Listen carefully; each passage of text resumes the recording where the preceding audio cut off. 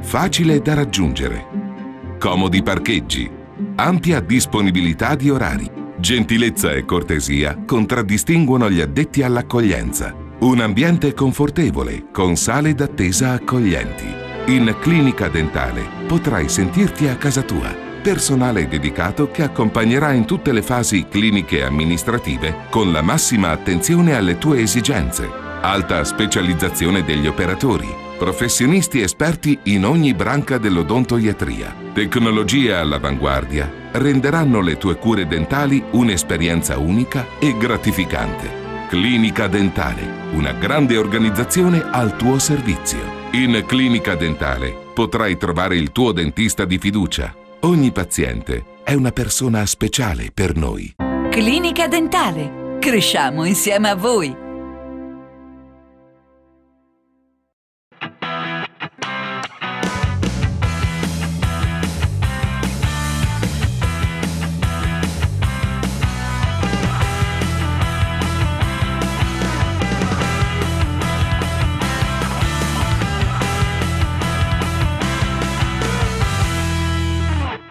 Bene, buonasera e benvenuti a Fuorigioco, una trasmissione dedicata al calcio dilettantistico.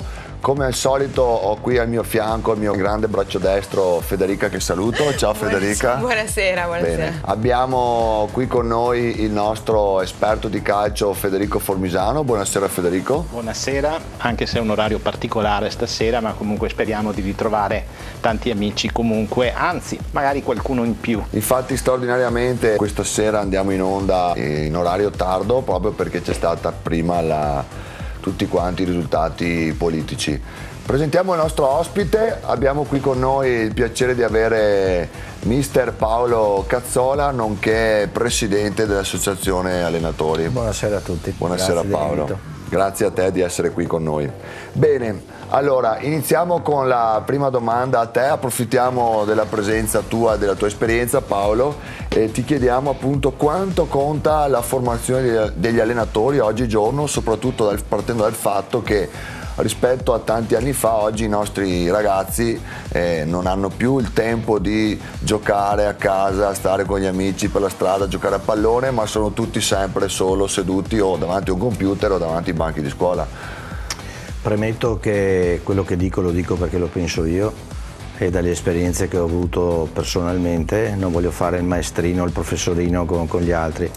Eh, ritengo che la, la preparazione dell'allenatore deve essere superiore agli anni, ogni anno che passa deve essere sempre più di livello più alto perché, perché, i problemi, la società è cambiata, i problemi che un allenatore si trova a dover risolvere sono problemi eh, di carattere motorio, per la scarsa attività eh, ginnica dei, dei nostri ragazzi e, e, poi devono essere anche di carattere psicologico perché bisogna sapere, eh, oggi l'allenatore diventa anche un curatore dei rapporti fra genitori che sono sempre più invasivi rispetto agli anni, agli anni nostri della nostra gioventù sull'attività sportiva e motoria dei, dei ragazzi.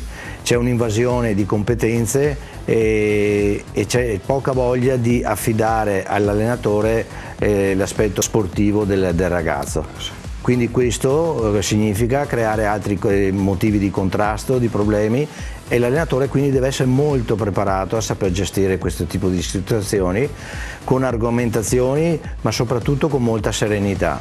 La serenità te la dà quando sei preparato. Eh. Se tu invece vieni colto in fallo o non sei, o non sei all'altezza per affrontare certi problemi, ecco che la tua serenità viene meno e viene meno anche la qualità del tuo lavoro. Eh sì. Io vorrei farle una domanda. Quante categorie di patentini ci sono nell'ambito federale?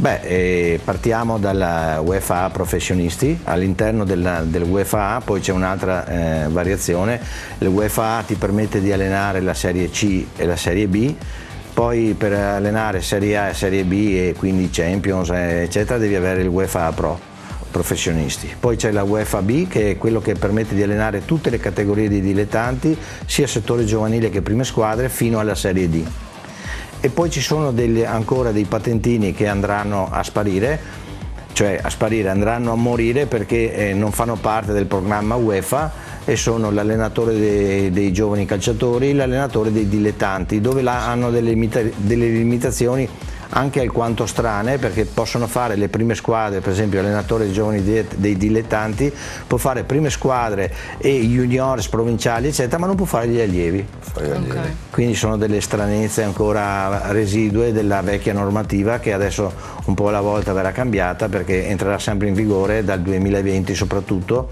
la, la normativa UEFA. Adesso mi pare che però hanno iniziato anche a fare i corsi, io sono stato a Bassano con te una volta. Sì per i portieri, per i preparatori sì. dei portieri? Bravo. Beh, ci sono due categorie che sono entrate adesso in maniera ufficiale e sono i preparatori di portieri che prima era una figura non era riconosciuta e chi faceva il preparatore di portieri e voleva farlo con una certa qualifica che gli desse anche certe garanzie doveva fare UEFA B.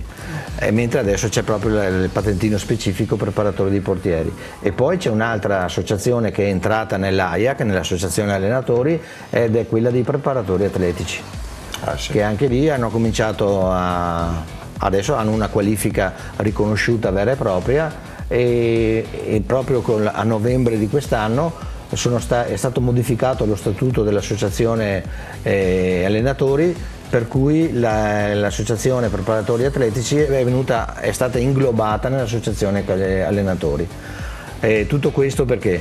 Perché alla fine per essere nella governance del calcio eh, della FIGC eccetera bisogna avere numeri rappresentare dei numeri importanti. I preparatori atletici proprio per figura e anche perché è un'associazione molto eh, recente eh, non, non, erano in grado di rappresentare dei grossi numeri e quindi hanno fatto una scelta secondo me strategica di entrare nell'AIAC la quale rappresenta già 88.000 tesserati. Però. Eh sì, quindi, quindi, sempre più formazione, sempre più patentini, sempre più specializzato. Sì, ma direi che io ho, una, ho mia moglie che per esempio eh, lavora nel fitness, nel, nello yoga eccetera e, e, si vede proprio che in quel tipo di sport lì manca questo tipo di organizzazione e di riconoscimento.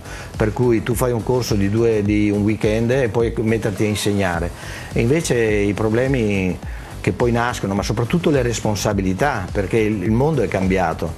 Una volta ti succedeva qualcosa e potevi combinare tutto con un bicchiere di vino e tarallucci, come si suol dire. Adesso si va dall'avvocato.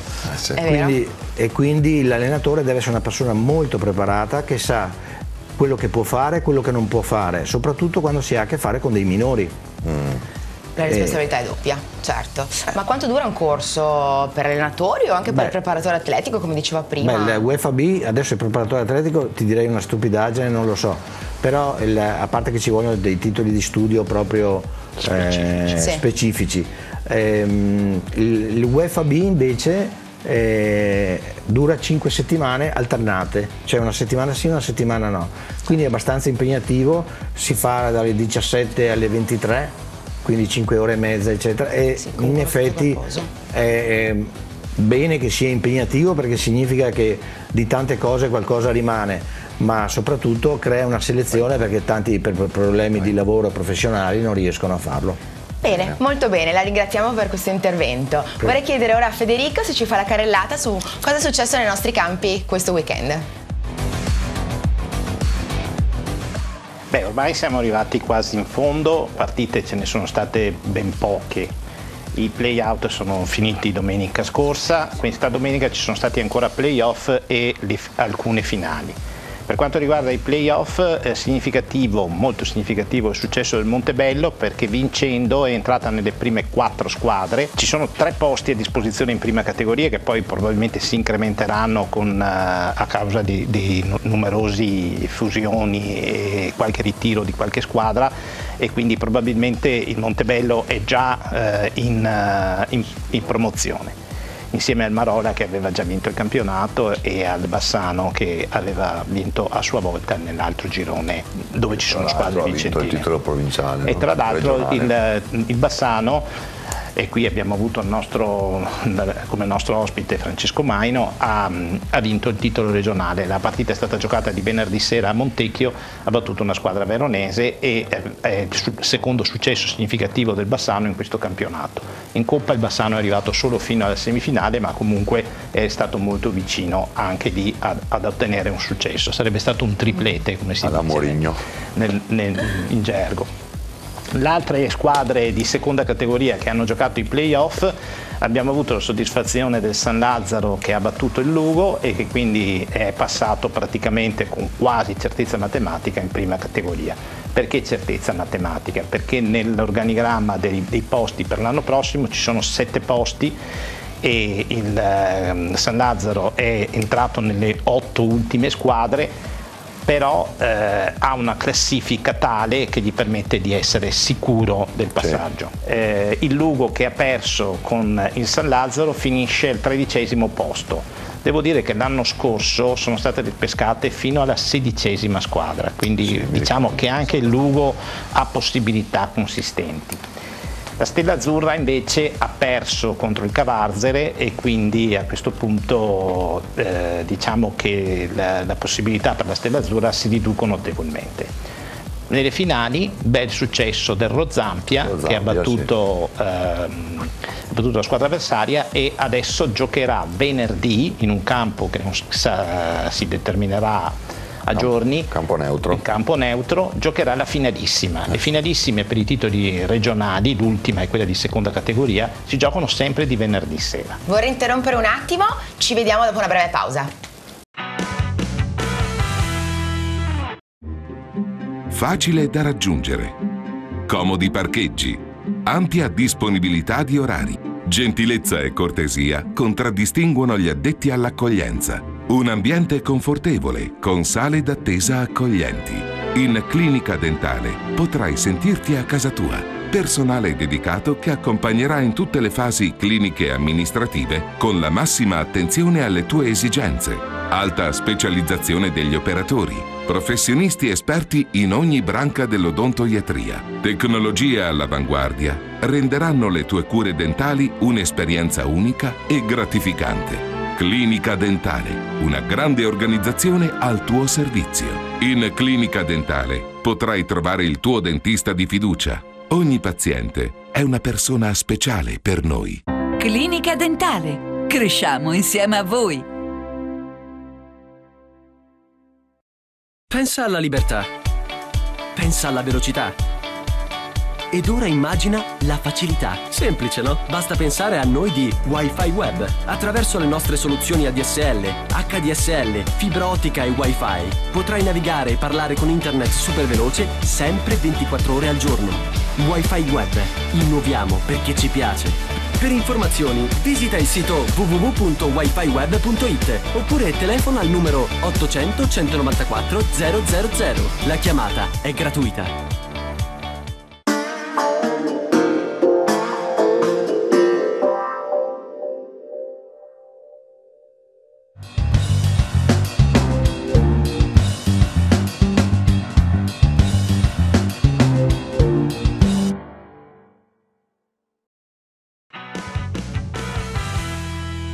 Bentornati a Fuorigioco, una trasmissione che come ricordo ha nella sua mission la, la, promozione del calcio dilettantistico. Siamo sempre più carichi e pieni di energia visto che stiamo notando sempre più attenzione da parte di voi che siete a casa e questo ci fa enormemente piacere. Come sapete diamo spazio oltre che al calcio giocato, parleremo anche di sport in salute Proprio per questo motivo, Federica, qual è l'argomento che tratteremo proprio questa sera? Guarda, oggi abbiamo un argomento che ti sta un sacco a cuore, eh, Franco. Sì. Parliamo dello stress da prestazione. Esatto. Paolo, cosa ci può dire al riguardo? Allora, eh, quello che posso dire è che quest'anno ho fatto un'esperienza personale nel settore giovanile di una società e la cosa che ho notato al di là poi delle informazioni che mi arrivano in quanto presidente dell'associazione che riguardano spessissimo gli esoneri nel settore giovanile, il, il, che è una cosa eh, allarmante. Eh, la cosa che ho notato è che moltissimi degli allenatori del settore giovanile danno priorità assoluta al risultato e non a, ad altri valori. Su Facebook, sui social siamo tutti bravi a scrivere belle frasi, bei concetti, però poi quando si tratta di applicarli prevale il, eh, la voglia di fare il risultato e di vincere solamente. Ora penso, ed è una mia opinione, penso che chi fa settore giovanile deve mettere in cima alla lista delle sue priorità altre, altri argomenti, non il risultato, perché prima di tutto eh, hai a che fare con dei minori, con delle persone che sono in crescita, con delle persone che sono in evoluzione e con le quali devi, la tua preoccupazione prima dovrebbe essere riuscire a farli innamorare del calcio, perché l'attività sportiva è, a mio parere è l'unico argomento che può tenere lontani i ragazzi da altri pericoli. Questo deve essere il, uh, il focus dell'allenatore, tenere i ragazzi lontano da altri pericoli ma soprattutto farli innamorare dello sport attivo. Perché? Perché alleniamo, come abbiamo detto anche prima, una società dei ragazzi che si muovono poco. Ma, ma Io... scusami Paolo, ma infatti questo problema qua è un problema che è legato molto anche a sti genitori che a casa però hanno un atteggiamento sbagliato, no? Sì, L'esonero di un allenatore nel settore giovanile tante volte parte proprio dalle lamentele dei, dei genitori dei e questo genitori, secondo me i è quali l'errore. antepongono la formazione, il gioco, il mio figlio gioca o non gioca, eh, ha invece il fatto che il figlio vada volentieri al campo a fare l'allenamento. Eh, ti ripeto, tutti antepongono il risultato ad altri obiettivi e secondo me lo stress nasce dal fatto che l'allenatore che non è preparato e che non è convinto delle sue, de, delle sue metodologie ma soprattutto degli obiettivi si fa eh, carico di questo stress e e antepone dei valori sbagliati.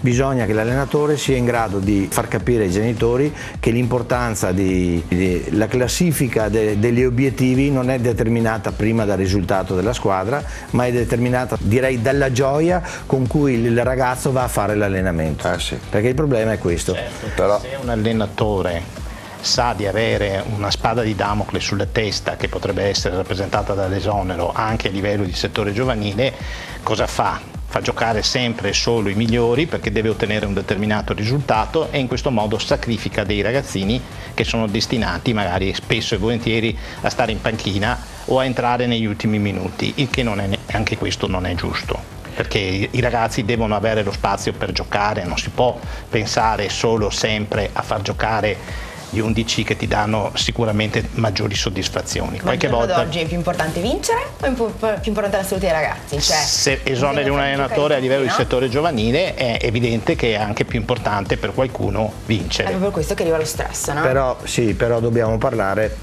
che non tutte le società hanno gli stessi obiettivi, non tutte sono uguali. Eh, fa, ci sono società che eh, fanno più un lavoro di socialità all'interno di una certa comunità, altre che invece perché mettono a disposizione risorse più importanti, eh, si pongono degli obiettivi diversi. Ora l'allenatore eh, deve sempre cercare secondo me di fare la squadra migliore perché? A suo, a suo giudizio. Però mantenendo certi equilibri perché effettivamente ci sono anche dei ragazzi che si avvicinano al calcio perché, tutti, perché è lo sport più popolare perché è lo sport più facile perché eccetera però non hanno ancora acquisito le basi per poter fare la competizione. Eh, il calcio è l'unico sport dove ti fanno fare una competizione anche se ti mancano i fondamentali. Se tu vai a fare tennis o sci prima di fare un torneo o di fare uno slalom devi avere, tutti, devi, essere, devi avere la padronanza di tutti i fondamentali, invece nel calcio questo non avviene. Ecco che allora è difficile equilibrare questo. L'allenatore, tornando al discorso dello stress, deve essere una persona preparata ma convinto delle proprie idee e allora può superare la pressione dei genitori, della società eccetera. Ma soprattutto, come diceva Confucio, deve, non deve aspettarsi dei riconoscimenti dagli altri, ma i riconoscimenti li deve avere da se stesso. Quindi quando va a casa si guarda allo specchio e dice ho fatto il massimo che potevo, ho, fatto, ho dato quello che dovevo dare come insegnante di calcio. Bene. Sì, allora trovi la tua gratificazione e diminuisci lo stress. Parlando di allenatori e parlando di un argomento che so che ti sta molto a cuore, l'abusivismo, può un allenatore squalificato, Paolo, entrare nello spogliatoio? No, allora è una prassi, devo purtroppo dirlo, che, che facciamo tutti, che pensiamo che l'essere squalificato significa eh, solamente non partecipare alla partita in panchina. Invece la squalifica, e questo è specifico nei regolamenti del settore tecnico, significa che tu non puoi fare la tua attività principale che è quella di allenare. Quindi per assurdo, quando tu sei squalificato non potresti allenare durante la settimana. Chiaramente questo non è fattibile perché perché non tutte le società sono organizzate in maniera tale per cui se l'allenatore viene squalificato e gli viene proibito di andare al campo di allenamento lo può sostituire con un'altra persona. Quindi diciamo che durante la settimana che è l'attività principale dell'allenatore e qua ci sono state sentenze della Cassazione, sentenze anche di tribunali civili, eh, non potrebbe fare attività sportiva, però questo non avviene e, e viene anche tollerato. La cosa invece che eh, gli allenatori devono capire è che per esempio durante la, um, che alla domenica quando c'è la partita eh, non possono entrare negli spogliatoi e questo invece lo si fa e poi si esce quando arriva l'arbitro e non potrebbe fare neanche l'allenamento di riscaldamento, riscaldamento della partita. Certo. E, e, qua vi devo dire che mi arrivano anche delle segnalazioni, adesso con i telefonini siamo vittima un po' tutti dei, dei video eccetera, mi arrivano i video dei allenatori che stanno conducendo l'allenamento pre-partita pur essendo squalificati. Ecco, devono sapere che questo eventualmente se eh, inizia un procedimento eh, sei soggetto a, a ulteriori sanzioni. È, un altro problema che sto notando capita più spesso è il fatto che un giocatore gioca in una squadra e poi si tessera e, e allena no, no, la, un'altra. Ecco, la, cioè, non eh, si fa vedere come tesserato, però poi allena. Ho assistito a squalifiche, a, a multe sia a carico del presidente del, di una società che a carico della, del presidente dell'altra società e a chi si rendeva eh, attore di queste violazioni. Ma l'articolo 41 del codice del settore tecnico parla molto chiaro. Tu non hai titolo di fare nessuna attività, nemmeno temporanea o occasionale, per la società per la quale non hai titolo per tesserarti. E quando è che io non ho titolo di tesserarmi per una società? Quando sono tesserato con un'altra. Okay. Quindi per la società per cui sono tesserato posso fare qualsiasi tipo di attività, posso anche che riguarda l'allenatore, perché se da allenatore voglio fare il dirigente devo chiedere la sospensione all'albo. Queste norme qua sono state fatte per evitare tutti quegli intralazzi che uno si tesserava come dirigente e poi in caso fa l'allenatore. Eh. tutto. Perfetto. Quindi devono essere chiare. Vorrei ringraziarla per il suo contributo, per essere stato qui oggi. Ringraziamo anche Federico, una figura fondamentale per il nostro programma. E ringrazio Franco ci vediamo lunedì prossimo, 17.30, sempre su TV a Vicenza. Buonanotte a tutti. Facile da raggiungere. Comodi parcheggi. Ampia disponibilità di orari. Gentilezza e cortesia contraddistinguono gli addetti all'accoglienza. Un ambiente confortevole, con sale d'attesa accoglienti. In Clinica Dentale potrai sentirti a casa tua personale dedicato che accompagnerà in tutte le fasi cliniche e amministrative con la massima attenzione alle tue esigenze. Alta specializzazione degli operatori, professionisti esperti in ogni branca dell'odontoiatria, tecnologie all'avanguardia renderanno le tue cure dentali un'esperienza unica e gratificante. Clinica Dentale, una grande organizzazione al tuo servizio. In Clinica Dentale potrai trovare il tuo dentista di fiducia Ogni paziente è una persona speciale per noi. Clinica Dentale. Cresciamo insieme a voi.